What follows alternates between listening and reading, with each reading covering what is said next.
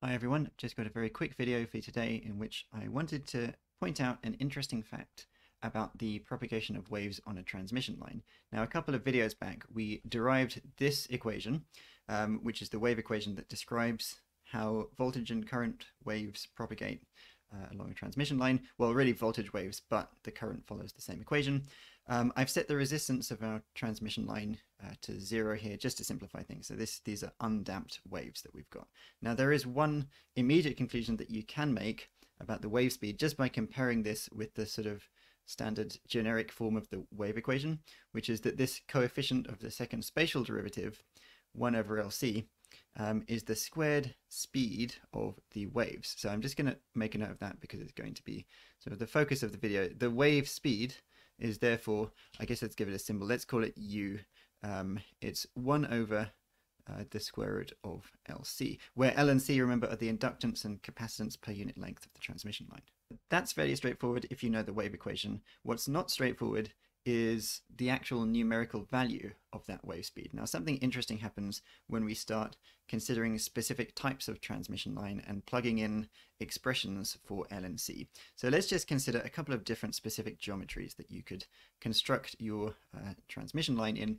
And the first case I'm going to consider is a pair of thin parallel wires because this is a case that I've done a couple of videos on already um, in previous videos on the channel, uh, we've derived expressions for L and C for a pair of thin parallel wires.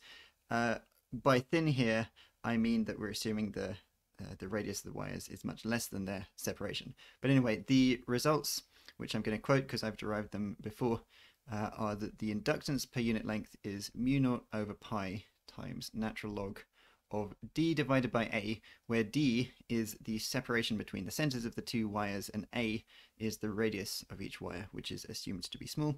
Um, and the other thing that we derived before was the capacitance per unit length, which is pi epsilon naught um, over the natural log of d over a, where d and a have the same meanings.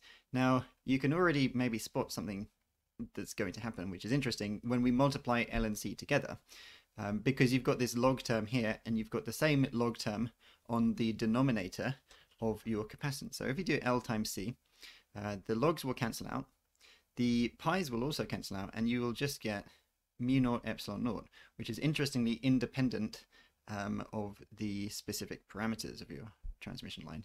So that of course means that the speed of propagation of waves is 1 over the square root of mu naught epsilon naught, um, which is actually the speed of light, right? This is a, a known, well-established relationship between fundamental constants mu naught, epsilon naught, and c.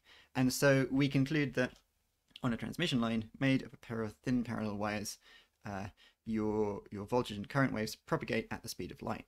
And this result sort of points us towards the fact that although until now we've been describing transmission line waves as voltage waves and current waves, what they really are is just a pair of pieces of conducting material um, that act as a wave guide for electromagnetic waves in free space, right? Like there is an oscillating electromagnetic field uh, between the two wires, and we know that electromagnetic waves propagate at speed c in, in free space. Of course, in reality, you don't have a vacuum between your conductors, and so um, you will have relative permeability and relative permittivity uh, entering your equation as well, slowing down the waves a bit.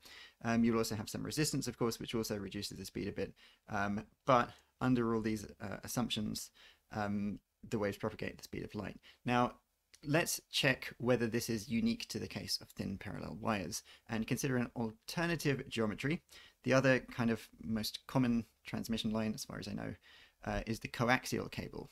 So let's think about this coaxial cable and if you don't know, by the way, a coaxial cable is basically a cylindrical conductor surrounded by another hollow cylindrical conductor. So it's like a cylinder inside a cylinder. They share an axis, which is why it's called coaxial. Now, I haven't derived these results on my channel before. Um, I'm going to just quote them here because they're very well established and you can look up look up a derivation. If anyone wants me to do a video deriving them, let me know and I can do that. But for now, let's just quote them. The inductance of a coaxial cable is mu naught over 2 pi natural log of b over a, where b and a are the radii of your outer and inner cylindrical conductors, respectively. And the capacitance per unit length is 2 pi epsilon naught divided by, again, log of b over a, where the b and the a are the radii of your cylinders. And you'll notice that exactly the same thing happens, right? Like you, you've got the log terms on the top of L, but the bottom of C, they'll cancel when you multiply them together. You've also got 2 pi um, on the top and the bottom that will cancel. You get mu naught epsilon naught again. And for a coaxial cable, again, assuming there's no resistance, assuming that the conductors are separated by a vacuum, you get that U is equal to C again. And you can check for yourself that the same fact uh, is true for other geometries. For example, I know it's definitely true for strip line, which is basically a transmission line, um, where your conductors are flat sheets of metal, which are commonly used in technological applications, printed circuit boards, um, and there are surely others as well. Um, and so this is a, a, general feature of the propagation of waves on transmission lines. So I hope this has been interesting and uh, thanks for watching. See you soon.